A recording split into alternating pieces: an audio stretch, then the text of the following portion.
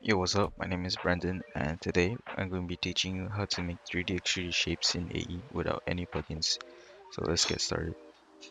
First, we're going to a composition, and in the 3D render tab, make sure your um, render goes from classic 3D to Cinema 4D, like so, and press OK. And then now we're going to be making a shape. So click on your composition, go to layer, new, and then shape layer.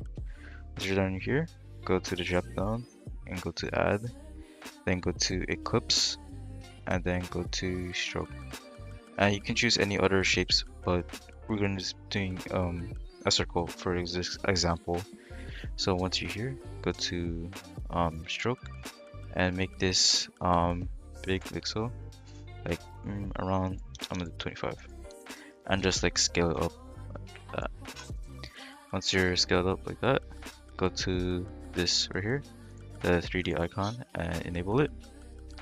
And then go to geometry options and mess around with the extrusion depth. I usually go to like mm, 25 to 50, so I'm just doing 25 for this example.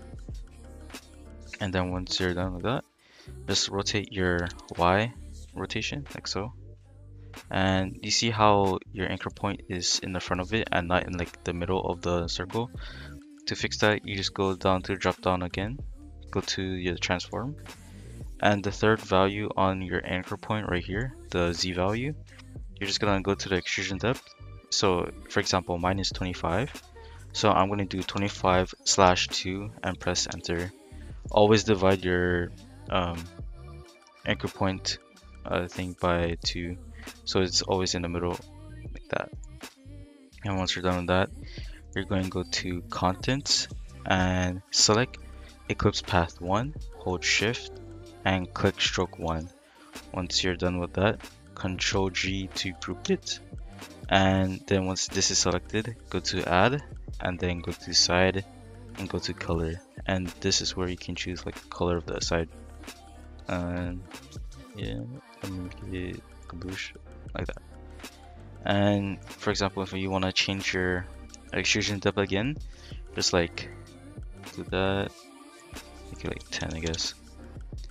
And then go to your anchor point 10 and then slash 2 and now your anchor point is in the center. So now we got a 3d extruded circle in AE without any plugins. And if you want to add some little bit of animation to it go to add in the shaper and go to trim paths then under trim paths you can go to end and make this at zero. Keyframe it. And then let's see we're gonna end it right there. And make the end at 100 then just f9 it like so.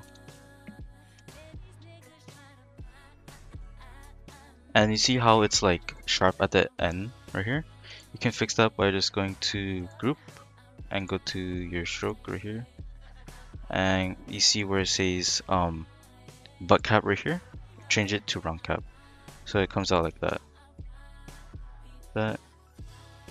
And now you can just like duplicate it again and then rotate it like so to make it look like a chain thingy. Go to P right there. That. And now you got like a chain thingy with your shapes. And yeah, this is how you basically make a, a 3D extrusion chip in AE without any plugins. Thank you for watching and hope you have a great day.